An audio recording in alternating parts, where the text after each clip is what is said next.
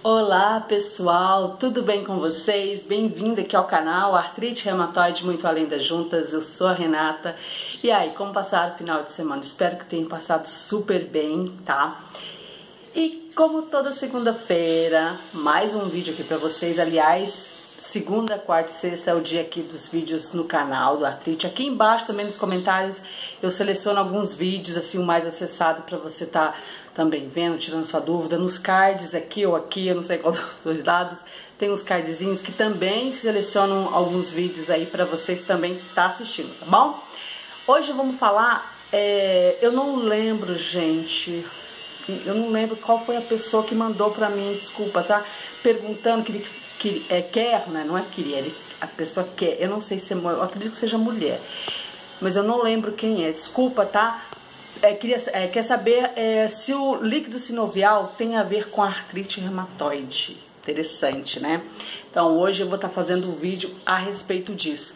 Será que o líquido sinovial tem a ver com artrite reumatoide? Muito interessante. É o primeiro vídeo que eu falo a respeito desse tema aqui no canal. Então, se você quer assistir, vamos assistir. Aí no final do vídeo eu volto aí para estar conversando mais com vocês, tá bom? Será que o líquido sinovial tem a ver com a artrite reumatoide? Bem-vindo ao canal Artrite Reumatoide, muito além das juntas.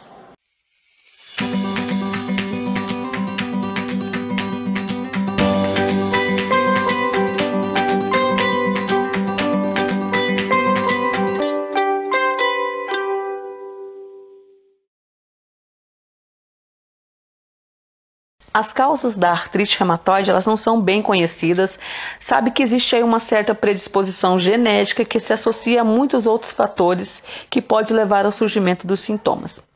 Em particular, as pessoas que fumam têm uma maior frequência da gravidade da doença. Ela pode começar de uma forma leve e progressiva e acaba atacando várias articulações de uma forma intensa e súbita.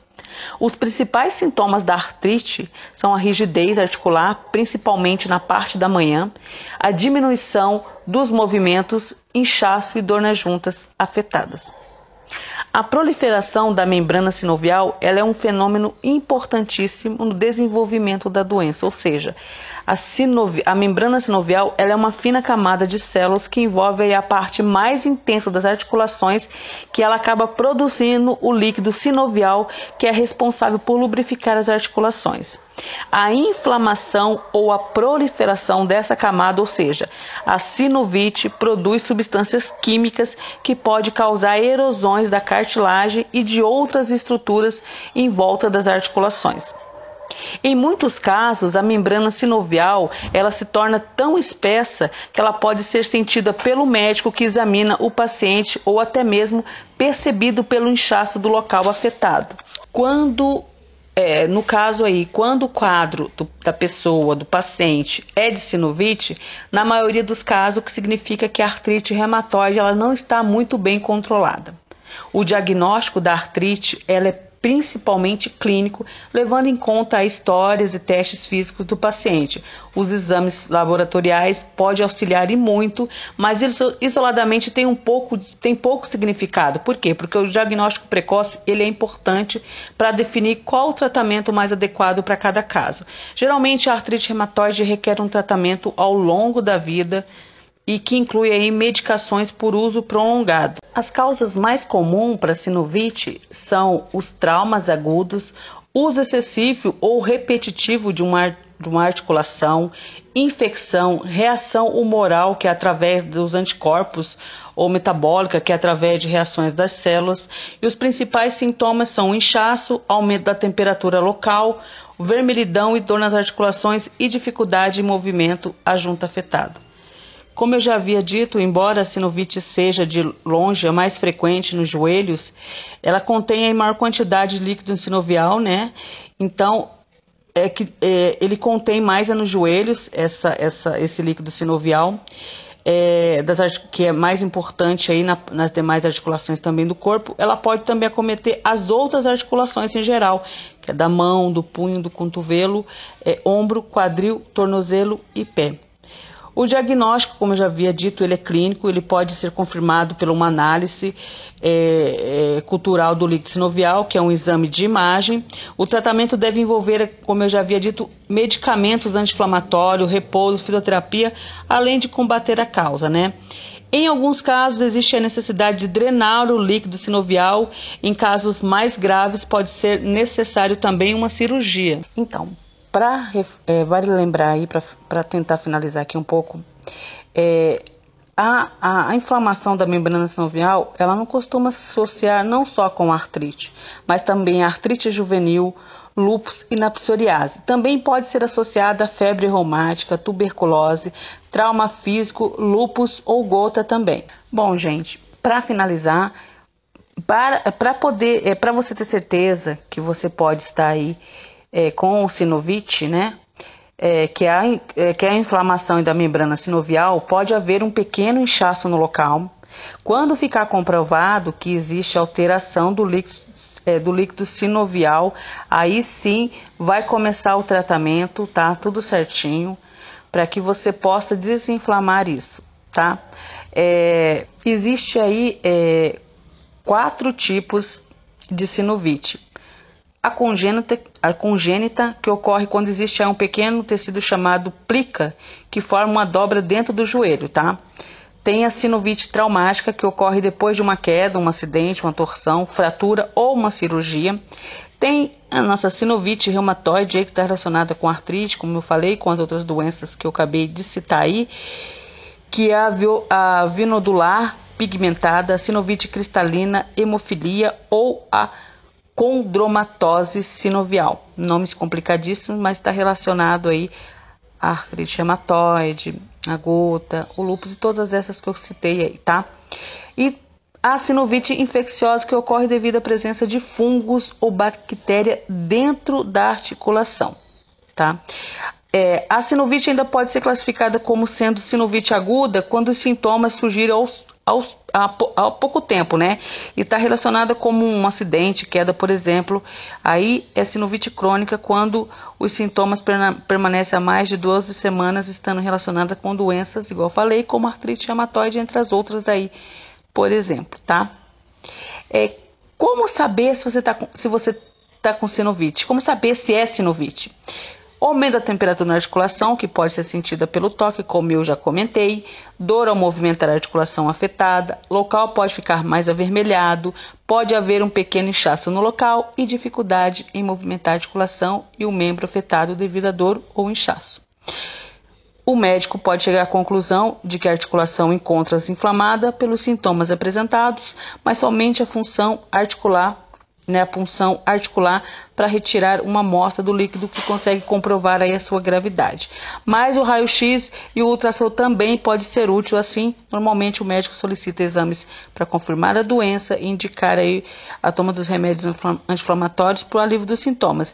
Se os sintomas se mantiverem por mais de 15 dias, comprometendo a atividade diária da pessoa, pode ser recomendado fazer uma fisioterapia. Tá? Apesar de qualquer pessoa pode desenvolver um quadro de sinovite, isso é mais comum em pessoas com artrite reumatoide e artrite reumatoide juvenil e as outras que eu falei, pessoas que trabalham com, com movimentos repetitivos e praticantes de esportes que treinam em mais de uma hora por dia, por mais de cinco dias por semana. Então, é... bom, gente, então é isso daí. É, é, é, esse é o vídeo relacionado aí, então, a é, sinovite, né? Espero muito que vocês tenham gostado, gente, tá? Gostou do vídeo? Deixa um like. Quer mais vídeos diferentes? Deixa nos comentários ou mande pro e-mail aqui do Artrite Reumatoide Muito Além das Juntas. Espero muito ter tirado as suas dúvidas aí no vídeo aqui a respeito da artrite líquido sinovial. E não esqueça de seguir nossas redes sociais aqui embaixo. E até o próximo vídeo. Quarta-feira eu volto. Tchau, tchau. Gente, gostaram do vídeo? Viu que tem a ligação sim? Porque a gente que tem artrite reumatoide, a gente vai ter, porque é, acaba aí é, produzindo esse líquido sinovial, a gente que tem artrite, e acaba aí é, é, tendo as inflamações, então uma coisa liga a outra realmente, tá? Espero muito que vocês tenham gostado, agora eu vou mandar muitos abraços, vou ler alguns comentários para vocês que sempre estão tá ajudando o canal a crescer, a gente está crescendo cada vez mais, Muito obrigado para todos os meus inscritos. Para você que não é inscrito, que chegou agora, aproveita e se inscreve. Você vai ter bastante informação legal aqui no canal, tá? É, eu vou ler então. Vou dar uma olhada aqui nos comentários. Espera só um minutinho, gente. Gente, vocês estão ouvindo esse barulho de passarinho, barulho de bastante movimento. Aqui eu moro do lado de uma praça, tá? Aí fica esses barulhinhos, tá bom? Eu vou ler aqui. Eu fico olhando para cá, fico olhando para lá, eu fico meio perdida. bom, vamos ver aqui. É, a Antônia Vieira dos Santos. Antônia, Antônia, um abraço para você. Tudo bem? Tudo legal? Espero que sim. Ela falou: Olha, tenho artrite, reumatoide, fibromialgia. São tantas dores. Poxa, Antônia. Dupla, dupla dor, né, Antônia? Tripla, né? Espero que esteja tudo bem com você, minha amiga, tá? Um grande beijo para você. Obrigada por estar fazendo parte aqui do artrite, tá? A Seica.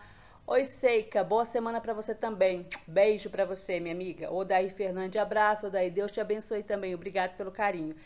Fran, oi, dona Fran, beijo pra senhora. Bom, boa semana, tá? A Clarice Cabral. É... Deixa eu ver aqui. Ela falou, boa noite, bom fim de semana. Eu tô lendo os comentários do, do último vídeo, tá, gente? É, fico ansiosa para chegar teus vídeos. Obrigada, Clarice, pelo carinho, tá? É, quero te pedir desculpa por escrever errado, muitas das vezes. É que aprendi a ler e escrever sozinha com a gratidão. Nossa, você é uma guerreira, além de enfrentar todos esses problemas da artrite, da fibromialgia, depressão. Você é uma guerreira, Clarice. Aprendeu tudo sozinha. Parabéns. Parabéns. Orgulhosa, viu? Muito bem. É isso aí. Não tem que pedir desculpa nada, tá? Imagina.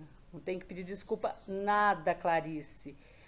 Nossa, que bacana, que bacana. Fico muito contente, muito feliz, tá?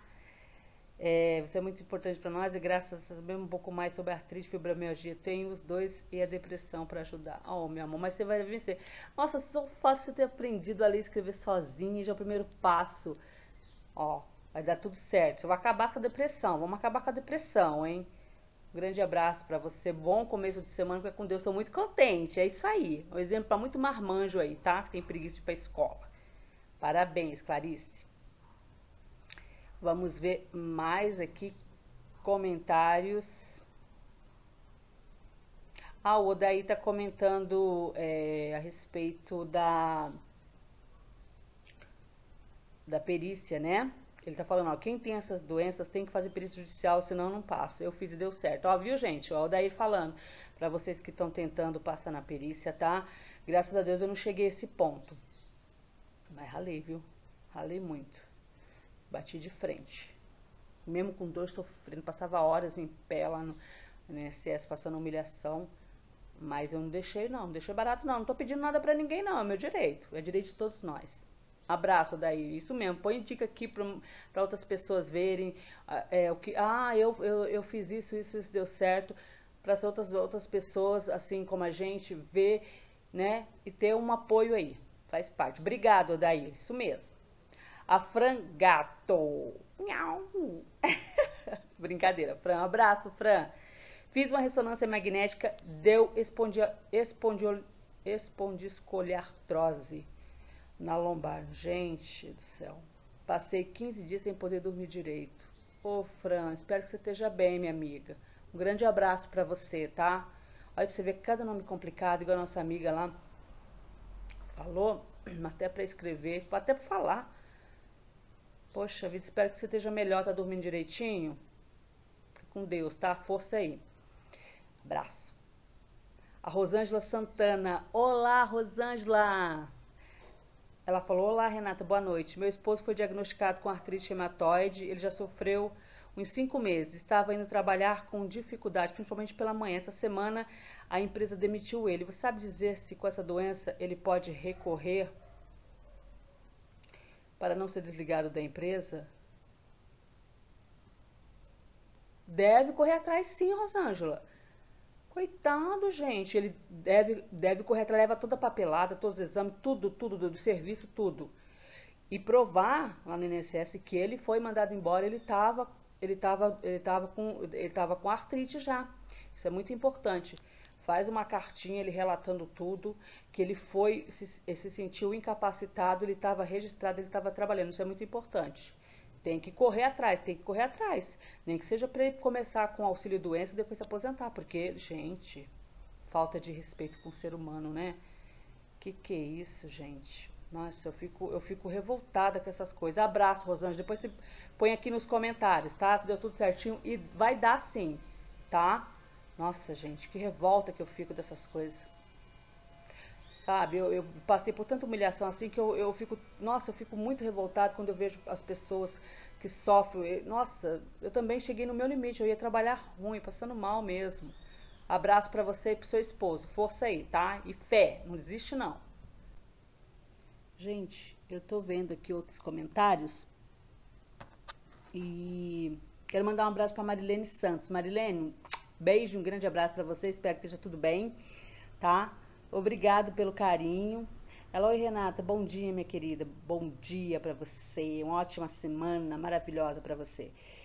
É, minha querida, como você mais uma vez, ah, oh, obrigado. Eu faço com tanta simplicidade, gente. É que nem eu falei da outra vez como se eu estivesse conversando com você na minha casa, no sofá da minha sala.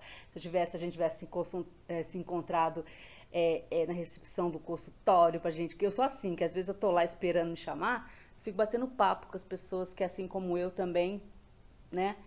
Faço uma simplicidade, gente. Eu fico muito contente. Obrigada, Marilene. Imagina, ainda bem que neste mundo tão difícil ainda tem pessoas. Nossa, gente, a gente tá no mesmo barco, a gente tá aí lutando, correndo atrás e, e eu sou assim, sabe, em todos os sentidos, sabe? Eu não, eu não, não só pelo fato de eu ter artrite, é, mas eu sempre fui assim, muito. Eu, eu me preocupo muito, às vezes eu nem conheço a pessoa. Nossa, eu, eu me ponho no lugar da pessoa, gente. Muito antes de eu ter artrite, muito antes, nossa. Às vezes eu sofro, eu sofro com o sofrimento das pessoas. Nossa, é, é, é incrível. Um beijo para você, Marilene. Fica com Deus, tá? é, a Ceia, Ceia Cardoso. Oi, Ceia, Ceia, Ceia. Oi, Ceia. Desculpa, gente, se eu falar o nome errado, hein? Ai, ai. Gente, desculpa o barulho, tá? Vizinho fazendo reforma. Deus abençoe ele, né? É, acho que é Ceia, Ceia Cardoso. Olha, tenho artrite, estou fazendo uso do Mira. O que você tem a dizer a respeito? Ah, eu já, já tenho um vídeo, Ceia, é, que eu falo um pouquinho sobre o Mira, mas eu posso fazer detalhado. Eu vou anotar, tá? Para me fazer mais detalhado. Porque eu estou fazendo uma repaginada de alguns vídeos que eu fiz no começo do canal. Agora eu vou fazer mais detalhado, tá, gente? Beijo para você, Ceia. Tudo de bom. Bom começo de semana para você, tá? Deixa eu ver que outros. Para me terminar o vídeo, né? Não, daqui a pouco fica aqui. Acaba ficando chato, né? É. Deixa eu ver quem é. Abraço pra Gleice Dias. Gleice, beijo pra você. Pro Sullivan Duarte. É, deixa eu ver quem mais. Que sempre estão aqui nos comentários também. Até pra você também que não tá comentando, que é inscrito, mas vê o vídeo, dá o joinha. Ou também que dá o dislike e não gostou. Também, tá? Abraço pra vocês. E é isso aí, gente. Que a semana de vocês seja de muita paz, de muita saúde, menos dor possível, porque a gente que tem isso, não é que a gente não fica sem dor, que a gente consegue suportar, né? Que a semana seja assim, gente, com muita coisa boa, que, que vocês que estão correndo atrás do seu auxílio, da sua aposentadoria, que Deus coloque a mão sobre o coração desse perito e ele se ponha no lugar de vocês porque é horrível a gente estar tá passando por tudo isso. Não só a gente que tem artrite, fibromialgia, você que está com câncer, é, você que tem outra doença grave aí, que Deus coloque a mão sobre o coração de todos ao seu redor para se pôr no seu lugar, porque nesse mundo, gente, eu falo isso para minha filhinha de 10 anos, o meu milagre. É, eu falo, é, até converso muito com meu marido sobre isso a gente está no mundo aqui é para a gente crescer espiritualmente, é para a gente aprender a amar o próximo. Porque ninguém não vive no mundo sozinho. Você não vive sem pai, você não vive sem mãe, você não vive sem amigos. Ninguém vive sozinho, gente. Se fosse pra gente viver sozinho, ia ter uma só pessoa no mundo. Então, a gente está aqui no mundo é para respeitar o próximo com as suas dificuldades, com as suas limitações, com as suas deficiências, com os seus defeitos, porque a gente não está aqui no mundo para ficar apontando o defeito, para a gente ficar apontando as coisas de ninguém. A gente está aqui no mundo para aprender, para evoluir com o próximo, espiritualmente, emocionalmente, tá bom? Se você tem um amigo, uma vizinha, um parente que esteja passando por dificuldades não só de saúde, mas qualquer dificuldade que seja, dê a sua mão ao seu próximo. Não estou falando só de ajudar com coisas materiais, não. Um apoio emocional, uma palavra amiga ou simplesmente um abraço, tá bom? Porque a gente está no mundo é para isso, gente, é para amar e respeitar o próximo. Um grande beijo para todos vocês, um bom começo de semana, que Deus abençoe o seu lar e a gente se vê quarta-feira. Um grande beijo para todos vocês. As nossas redes sociais estão tá aqui embaixo para você ir lá. Vai lá no Twitter, nosso Instagram, daqui a pouco tá chegando a mil seguidores. Uhul! Obrigada, gente.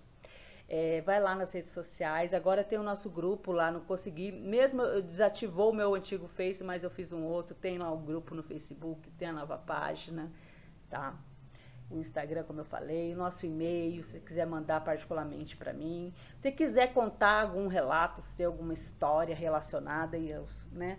Pode mandar que eu conto aqui na sexta-feira. Agora eu parei de contar porque o pessoal tá querendo mais é vídeo, tá, gente? Mas se quiser contar, desabafar, fique à vontade aqui, tá? Sinta-se abraçados para um bom começo de semana e a gente se vê quarta-feira. Beijos. Tchau, tchau.